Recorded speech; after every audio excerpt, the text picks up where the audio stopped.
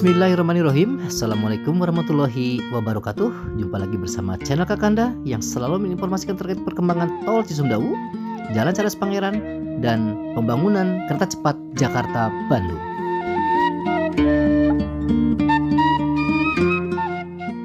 Saya mengucapkan banyak terima kasih untuk sahabat-sahabat sekalian yang telah memilih channel Kakanda untuk mendapatkan informasi terkait perkembangan jalan tol.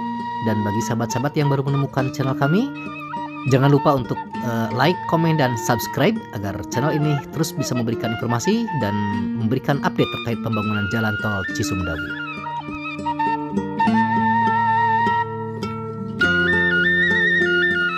Nah baik uh, sahabat sekalian kita langsung saja kita bahas terkait update hari ini kita akan membahas fokus di seksi 5 ya sahabat Kanda yang meliputi wilayah Cacaban hingga Ujung Jaya.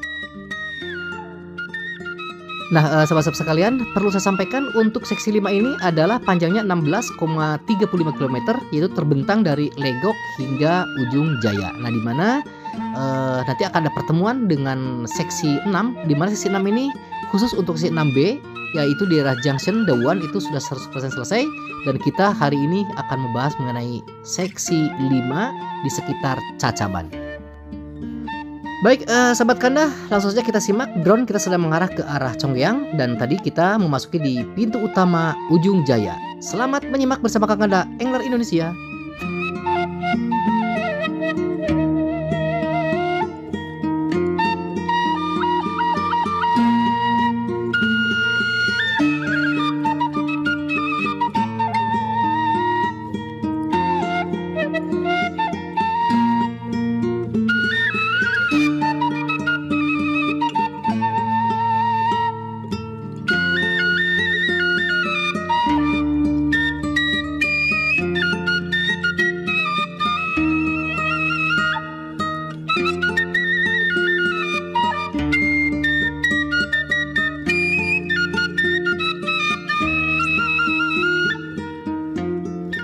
Ya, uh, sahabat Kanda, ini drone kita sedang mengarah ke arah Cacaban, uh, Babakan Asem, selanjutnya ada ke daerah Chongyang.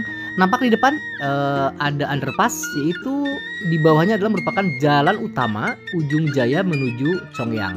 Ini di sekitar daerah Babakan Asem ya, uh, sahabat Kanda. Uh, mohon ini dikoreksi kalau ada yang salah, karena Kang Kanda juga ini baru mengetahui ini dan uh, mendapatkan informasi juga dari beberapa sahabat-sahabat di lapangan.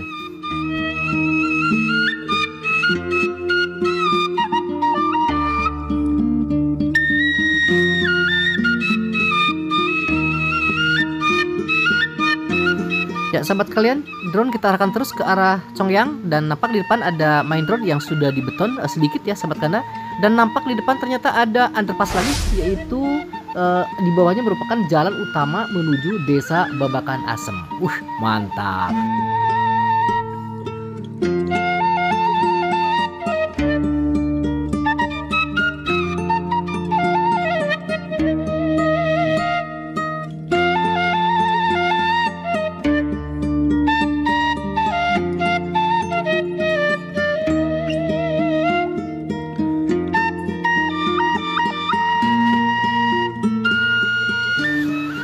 Baik, berikutnya napak tadi ada beberapa main road yang sudah dibeton namun hanya beberapa ratus meter saja dan napak di depan juga kita akan menuju ke sebuah pembangunan yaitulah jembatan.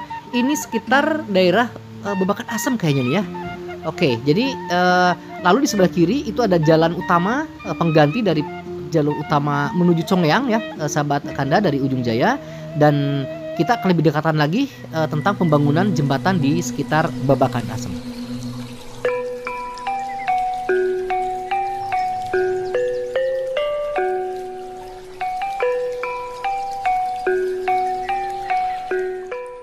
Ya, sahabat-sahabat sekalian, nampak pondasi untuk jembatan di sekitar Babakan Asem atau mungkin ini ini yang dikenal dengan jembatan tanjakan Kedongdong mungkin ya. Oke, sekali lagi mohon maaf nih kalau ada kesalahan, silakan mau dikoreksi, sampaikan di kolom komentar ya sahabat sekalian. Dan e, nampak ini sudah hampir e, rampung nih untuk pondasi, tinggal memasang girder saja. Dan e, pandangan kita langsung mengarah ke depan lagi dan ini berlanjut nanti ke arah e, Cacaban dan e, Chongyang. Baik, uh, sahabat sekalian, uh, demikian informasi Kakanda dan mari kita simak saja pantauan drone yang akan saya lakukan uh, khusus mengarah ke arah Chongyang dan nanti akan manuver muter balik lagi ke arah Ujung Jaya.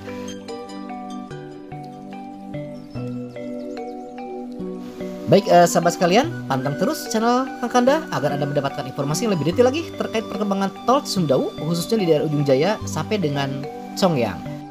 Selamat menyimak.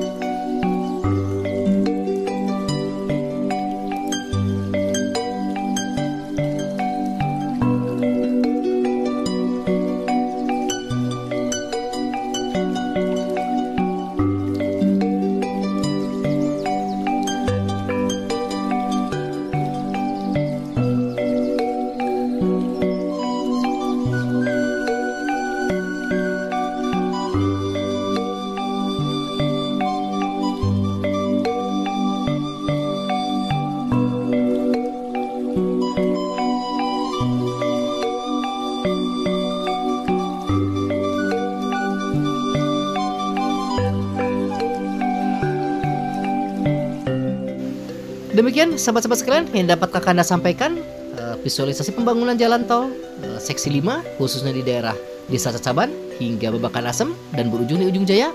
Mudah-mudahan ada manfaatnya buat sahabat-sahabat sekalian.